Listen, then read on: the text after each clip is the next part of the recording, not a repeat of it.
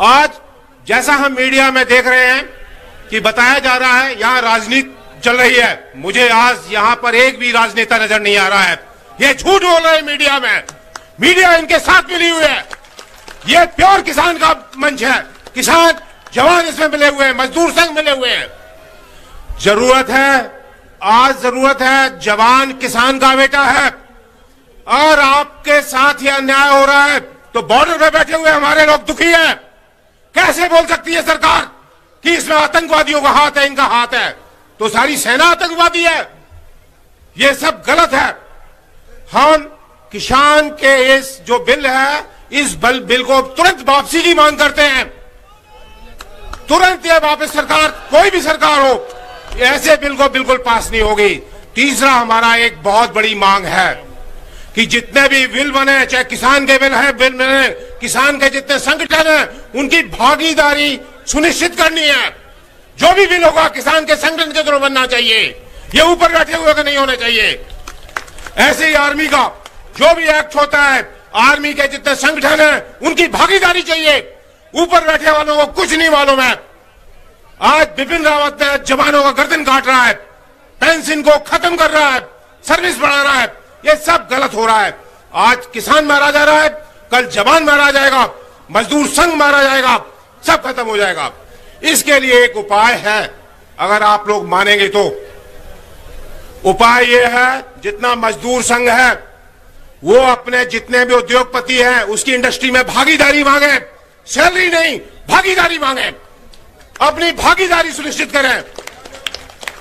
जो भी आदमी जहाँ सर्विस कर रहा है छोटे, उसमें सर्विस नहीं चाहिए, भागीदारी चाहिए। आपको उद्योगपति के बराबर चलना है। तब ये झुकेंगे। कोई भी मलाई होती है, मलाई की तरह मक्खन निकाल के उद्योगपति लेता है। बीच का कचरा जितना भी नेता खा लेता है और उससे बचा हुआ खराब है, वो एमएसपी सिक्स परसेंट के रूप में किसानों को फेंक देता है। ये सब गलत हो रहा है देश में। कोई भी राजनेता है, कोई भी राजनेता, मैं किसी भी नेता के फेवर में नहीं होता हूँ। किसी भी पार्टी के फेवर में नहीं हूँ। हमारा संघ हमारा संगठन पूरा किसान के साथ मिलकर के जवान एक नया भारत की रचना करेंगे। इसी के साथ मैं बाणी को विराम देता हूँ। समय बहुत कम है। जय हिंद।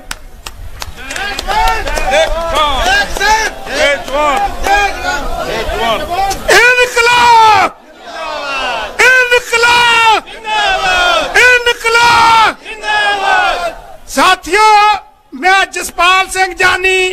Indian veteran organisation Punjab president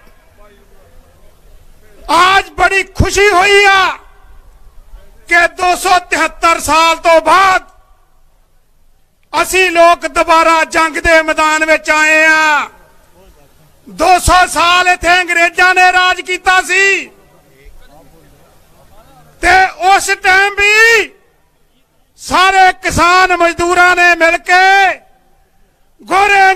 ਨੂੰ ਕੱਢਿਆ ਸੀ ਤੇ ਜਿਹੜੇ ਕਾਲੇ ਅੰਗਰੇਜ਼ ਸੀ, ਦੋ 74 ਸਾਲ ਹੋ ਗਏ ਜਿਨ੍ਹਾਂ ਨੇ ਦੇਸ਼ ਨੂੰ ਆਜ਼ਾਦ ਕਰਾਇਆ ਸੀ, ਅੱਜ ਤੁਸੀਂ ਬੜੇ ਭਾਗਿਆਸ਼ਾਲੀ ਲੋਕ ਹੋ ਬੜੇ ਕਰਮਾਂ ਵਾਲੇ ਲੋਕ ਹੋ ਜਿਹੜੇ ਅੱਜ ਤੁਸੀਂ ਦੇਸ਼ ਨੂੰ ਦੁਬਾਰਾ ਕਾਲੇ ਅੰਗਰੇਜ਼ਾਂ ਦੀ ਚੁੰਗਲ ਚੋਂ ਛਡਾਉਣ ਵਾਸਤੇ ਆਏ ਹੋ।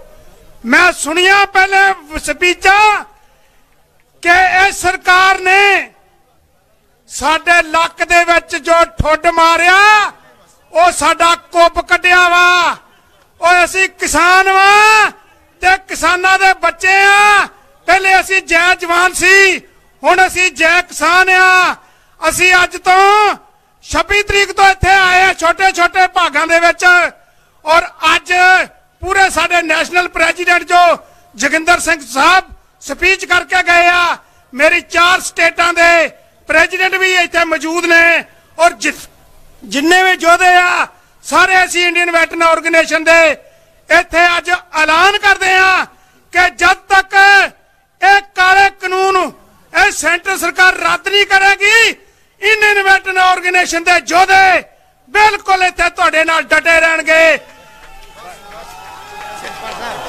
ਸਿਆਕਾ ਇਹਨਾਂ ਕਹਿੰਦਾ ਹੋਇਆ, ਜੇ ਕੁਝ ਵੱਧ ਘੱਟ ਬੋਲਿਆ ਗਿਆ, ਤੇ ਆਪਣਾ ਭਰਾ ਜਾਣ ਕੇ ਇੱਥੇ ਖਿਮਾ ਦਾ ਇਜਾਜ਼ਤ ਹੈ।